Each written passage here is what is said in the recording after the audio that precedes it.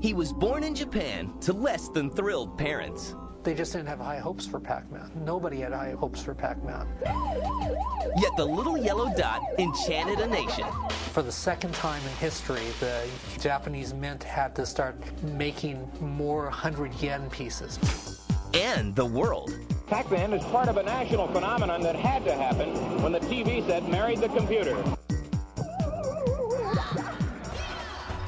His popularity caused worldwide havoc. There was an American reaction to it, and it was a big reaction.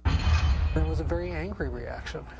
Hear the story of his birth. Nakamura-san was afraid that Americans would alter the P on Puckman, so he changed it to Pac-Man.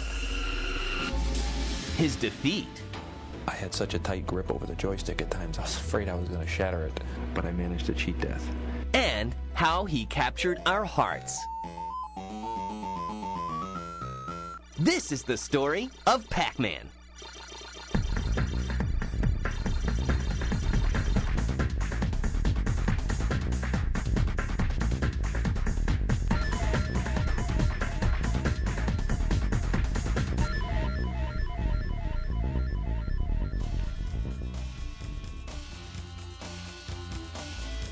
Back in the early 80s, every town would have a recreational center.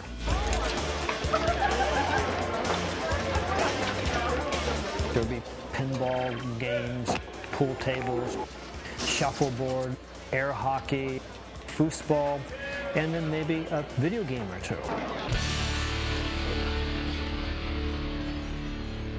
And most people didn't bother to go to the recreation centers in their town until some of the more modern games started coming out. Video games have been out there since about 1972, but they really had no major impact on the public. But all that is about to change with the birth of Pong, a video game that paves the way for the golden age of arcades to officially begin.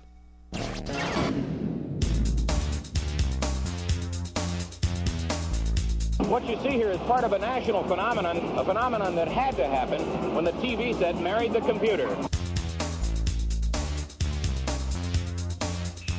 Space Invaders was like the first game in this three-game progression that brought the public completely into the arcades and made them become enamored with video game playing.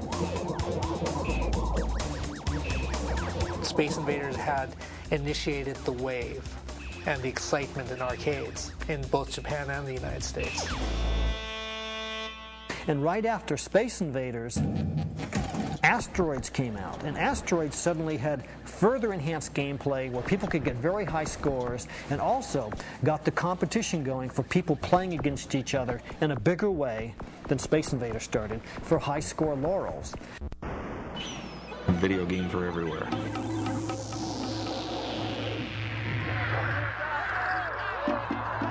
Everybody wanted to go, everybody wanted to play, everybody wanted to be the best. It starts with a quarter. By 1979, the American craze for video games is just beginning. They seem to have captured America's imagination and its pocket change as well. But on the other side of the world, a young Japanese game designer named Toru Iwatani is inventing something new. Something that will change video games forever. Iwatani-san is a very interesting fellow. He came to Namco, he wanted to make video games, arcade games, based on pinball. He wanted to make a game that would appeal to women. He wanted to make a game that would be non-violent. And he wanted to make a game using the word taberu, which was to eat. Namco's president likes the premise. Iwatani is assigned a team of nine designers to help bring his vision to life. Bear in mind, back then, hardware was pretty limited. You could get shapes and colors, but they couldn't be very detailed. But he, he started the game, and one of the first things they ran into was, what does this character look like? When I interviewed Iwatani-san, he talked about going to a pizza parlor with his designers. They were eating a piece of pizza. Somebody pulled a slice out. And he looked down at the tray and there was Pac-Man staring at him. Fact or fiction? You make the call. Interestingly, though, in an interview he gave the year Pac Man came out, he said that he would have liked to have said that he went to a pizza parlor and was inspired by pizza. So take it any way you want to take it. It's a great legend, and the industry needs its legends, right? After months of development and location testing, Pac-Man is ready for market. But he takes a back seat to a more conventional game. They made Pac-Man at the same time they made another game called Rally X. And absolutely everybody at Namco loved Rally X. So then they took the games to a Tokyo Game Show, and everybody at the show loved Rally X. The main thing wasn't that people didn't like Pac Man, they just didn't have high hopes for Pac Man. Nobody had high hopes for Pac Man. Despite the low hopes, Namco still finds an American distributor. They hooked up here with Midway Games. Midway was going to import both games. They took both games to an AMA show. Everyone loved Rally X still. Pac Man was good. Rally X was the game of the show. And then they came out, and, well, when's the last time you played Rally X?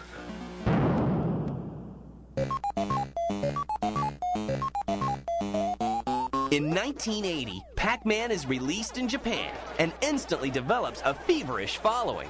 Pac Man was a hit right off the bat. It was an immediate success in Japan. For the second time in history, the Japanese mint had to start uh, making more 100 yen pieces because so many 100 yen pieces were sitting in the bellies of Pac Man machines at that time. It had genuinely fascinating and invigorating gameplay so that it could become addictive to the person because it would really lead them into this incredible trial and error process of learning the game, memorizing patterns, or getting to developing your eye-hand coordination, your motor responses, so that you could defeat the game and have a high score. In Japan, the success of Pac-Man leads to some unexpected career changes. Around Tokyo, you'll see lots of vegetable stores. They're mom and pop store, they're all over Tokyo. These people stopped ordering vegetables, cleared out their stores. They'd buy maybe 10 Pac Man machines, and they'd make a lot of money off of it. Now it's time to release the game in America. Well, with one major exception. Was originally going to be Puckman, uh, based on the shape. And Nakamura-san was afraid that Americans, with their quote-unquote proclivities towards uh, dirty words, would alter the P on Puckman, and so he changed it to Pac-Man. With the new name in place, the Bally Midway Company releases Pac-Man in October 1980 to a hungry American market. Coming up, Pac-Man Mania. Pac-Man is known as the cute game. What's the object? You have to clear the. Yes, you have to get all the all the dots off.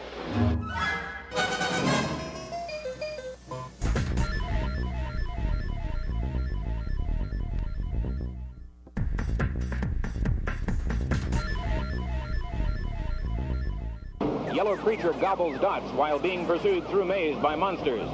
In October 1980, Pac-Man is released in U.S. arcades, and America catches the fever. Oh, I played Pac-Man the moment it arrived at um, a 7-Eleven just outside of Burley, Idaho.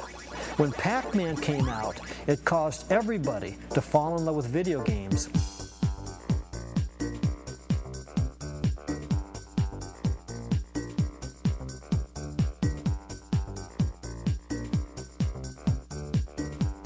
Biggest arcade game of all time, by a long shot, the biggest arcade game of all time. In the United States, it caught on. You'd go, go into any large arcade by mid to late 1980, and you'd see an entire row of Pac-Man machines. And manufacturers have trouble keeping up with the demand.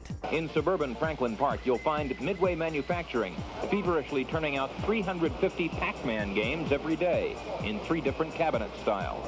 Remember, we're talking about 1980. We're talking about the beginning of MTV. People are still fascinated. They're fascinated with technology. They're fascinated with video, bright images, music, and the future. Pac Man brought more people in. People went to arcades specifically looking for Pac Man.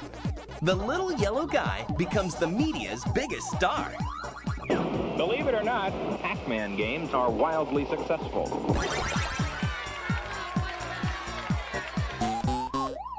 Pac-Man finds himself in some very strange places. They popped up everywhere. I mean, you know, 7 Elevens would carry them, grocery stores are carrying them. The funny one is that at least one funeral home had a couple of arcade machines in its basement. Pac-Man was so good that it managed to escape the arcade and be a unique item for entertainment that could be found any place, not just an arcade. It was an incredible phenomenon at, at that time. Suddenly, everyone wants a piece of the Pac-Man pie. Pac-Man was the granddaddy in marketing history of gaming property.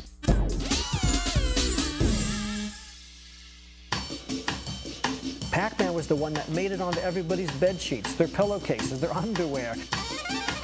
Pac-Man is everywhere. There are Pac-Man cartoons, there's a Pac-Man cereal, Pac-Man lunchboxes, Pac-Man board games, Things they wear on their wrists, things they wear around their neck, things they wear on their feet. are Pac-Man trash cans, Pac-Man toilet seat. Just anything you can imagine, Pac-Man is there. Pac-Man was really the beginning of all that for the video game industry. Now, it's not unique anymore because everything seems to be doing that now, but they're just following the path that was trailblazed by Pac-Man 20 some years ago. Love for Pac-Man knows no boundaries. Women loved Pac-Man, and they came into the arcades to play it.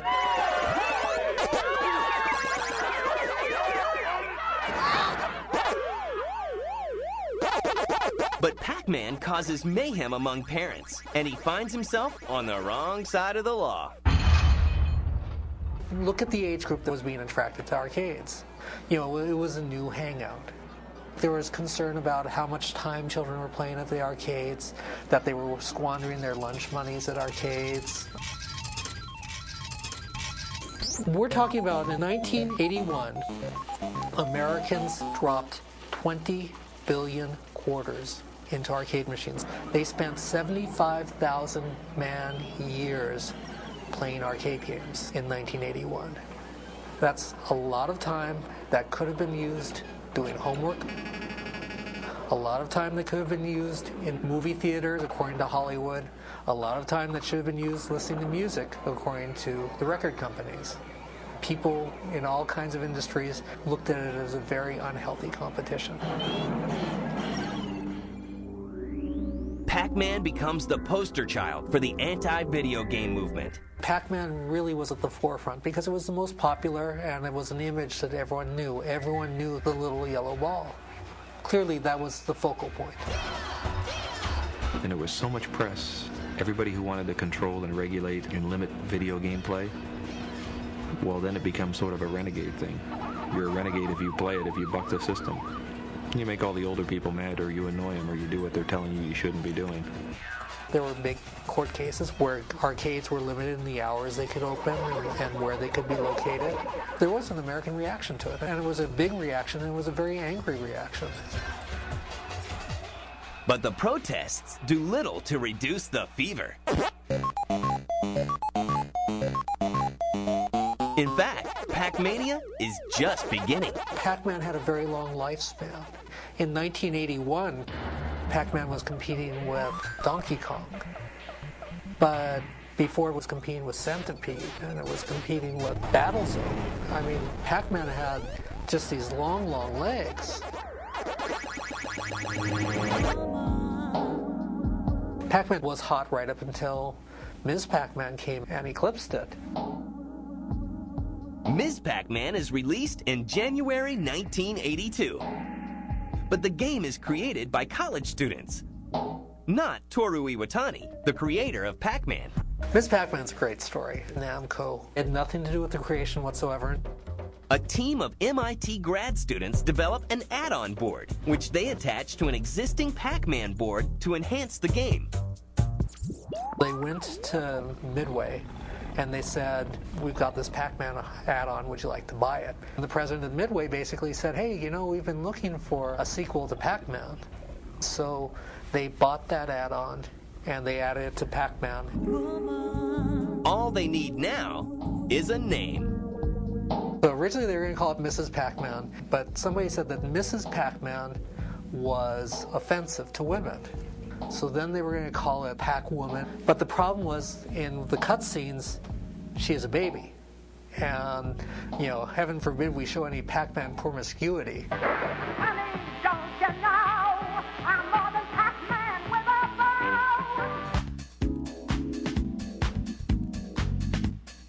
So, a very politically correct Ms. Pac-Man is ready for the arcades. Upon release, she immediately outperforms her predecessor, selling over 115,000 units. But her fame is short-lived. Oh.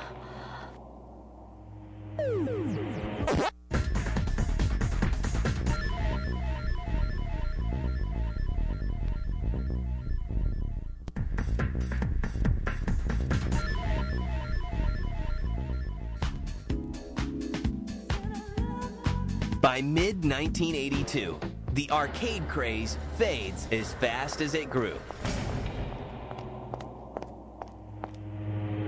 Inevitably, there was a shakeout. And the number of arcades that were existing in America at that time, which numbered maybe about 20,000, which was a lot. It was an arcade in every town, essentially. Then it shook out so that there were only about 12,000 left, and then it shook out more, and there were only about 4,000 left. The Pac Man family alone isn't enough to save the ailing arcade business. Games become unpopular when people get very good with them. You see, Pac Man is one of the greatest games. And the reason it's one of the greatest games is because it's also one of the hardest games.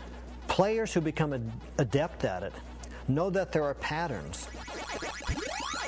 And so now all of a sudden, instead of people playing for 30 seconds, now you have people who can come in, they'll drop a quarter in, and they'll play for an hour.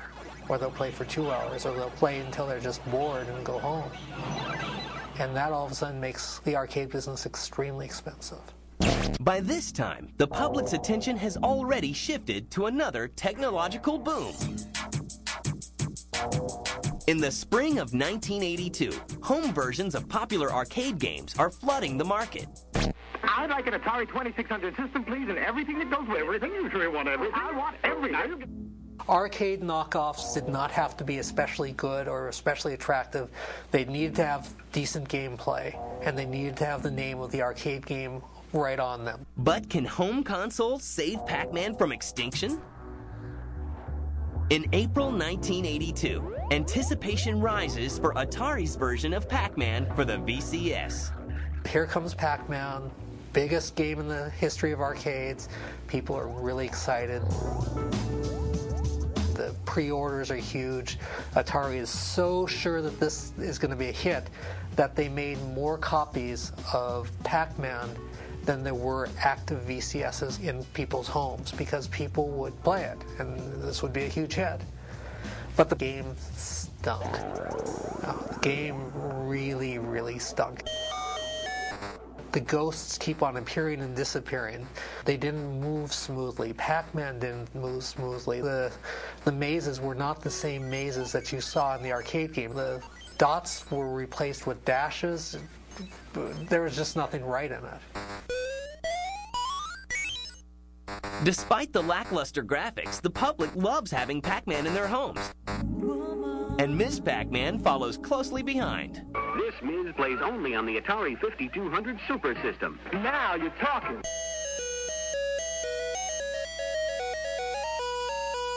Attempting to cash in, competitors release their own versions of Pac Man.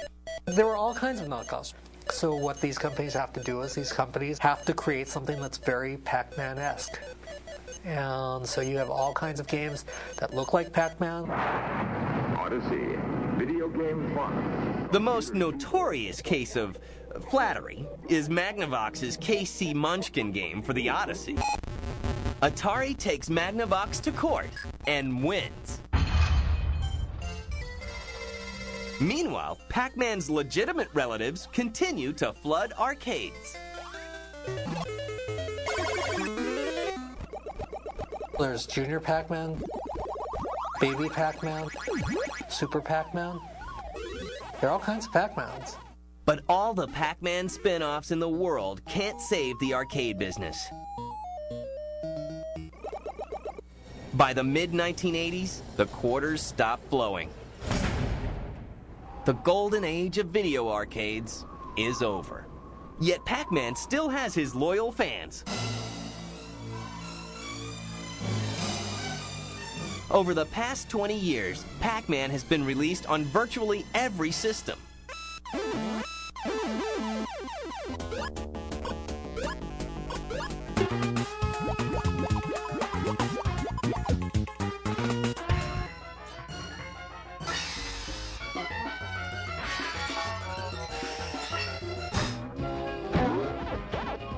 And the desire for high scores never wanes. In 1999, Pac-Man finally meets his match. Billy Mitchell becomes the first person to play the perfect game. I'd say, yeah, people think I'm nuts. You have to be a little nutty to be this obsessive about something. On July 3rd, 1999, Mitchell, the president of a Florida hot sauce company, walks into New Hampshire's Funspot Arcade and slides a quarter into the Pac-Man machine.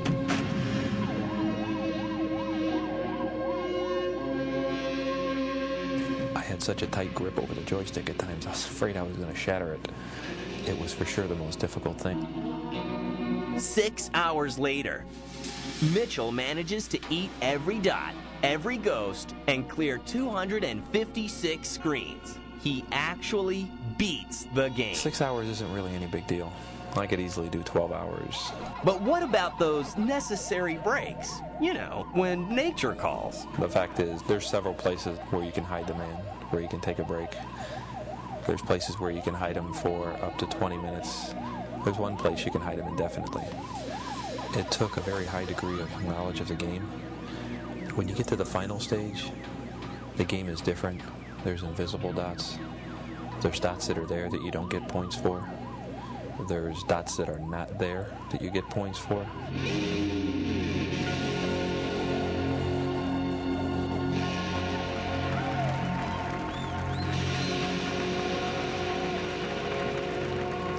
The record-breaking feat makes Mitchell somewhat of a celebrity.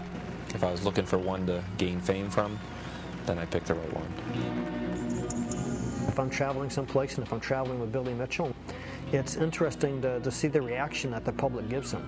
He has this unique persona, and people notice that, even when they don't know that he's Billy Mitchell, the world famous Pac Man player. Is he too old to be playing Pac Man?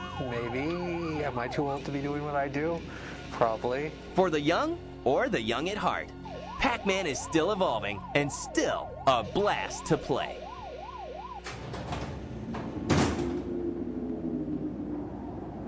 There are very few game characters from the early 80s who are still active in today's gaming scene. Pac-Man would be the, probably the main one. Pac-Man is engraved in that gaming psyche. Pac-Man did leave an indelible mark on 20th century culture, and especially late 20th century culture. And Pac-Man continues to enchant gamers worldwide with his latest adventure. For Namco, Pac-Man is still very much alive. It's a sign that everything has gone full circle and now the original games are being recognized and given their due once again, but in a new way. There'll always be the people who are going to think about Robotron 2084 or Defender or Donkey Kong. But the biggest group will be thinking about Pac-Man when they think about arcades in the early 80s.